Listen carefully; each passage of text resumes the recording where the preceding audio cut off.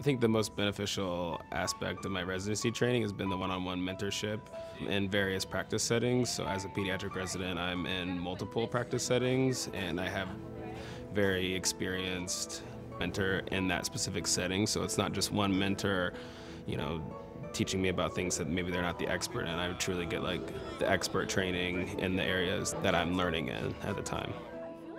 Overall, I think just the access to research, the access to helping formulate lectures and lab opportunities for uh, entry level students is something that I want to do as a professional going forward. So I feel that that was something that I wasn't necessarily going to get not doing a residency program, especially not at Creighton.